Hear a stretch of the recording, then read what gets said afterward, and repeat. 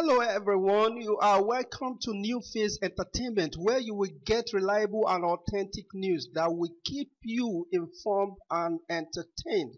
I say a very big thank you to everyone who has been part of this channel and who has taken time to subscribe. And if you are yet to subscribe, please click the red subscribe button and also hit the bell icon for notifications so you will always get alerted anytime we publish latest news or any of our other uploads. The national chairman of the All Progressives Congress, APC, Comrade Adams Oshiomhole, has updated President Muhammadu Buhari on the activities of the party including his purported suspension and subsequent reinstatement by separate courts.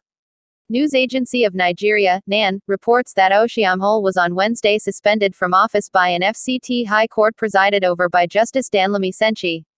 However, a federal high court sitting in Kano, presided over by Justice Lewis Allagoa, on Thursday set aside the Wednesday's interim injunction of Justice Senchi and subsequently voided the suspension of APC National Chairman, Comrade Adams Oshiomhole. In his ruling, Justice Alagoa ordered the Nigeria Police Force and the Department of State Service DSS to provide security for Oshiomhole to resume in his office. Hello beautiful people, welcome to NewFaze Entertainment. Oshiomhole, who spoke to State House correspondents after a closed-door meeting with the president, expressed optimism that God would see him through the current legal and political upheaval, describing himself as a child of light who will always defeat darkness. He said, I thought that I had a duty to brief Mr. President as the overall leader of our party about this development. Incidentally, when I requested for the audience yesterday, I wasn't sure what has happened today will happen. But I had a duty to inform him about the court order but happily before coming here, the order from a federal high court that has made nonsense of what the FCT court purported to have done has already settled the question.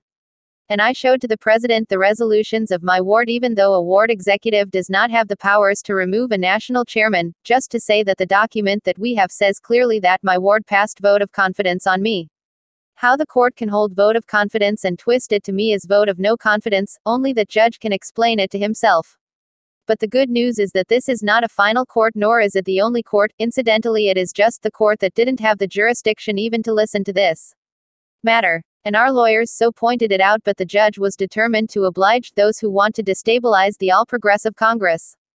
Oshiomhole, who fingered a serving minister and some governors as being his ordeal in the party, allegedly accused Edo State governor and some of his supo. Arters of jubilating over the Wednesday's FCT High Court ruling.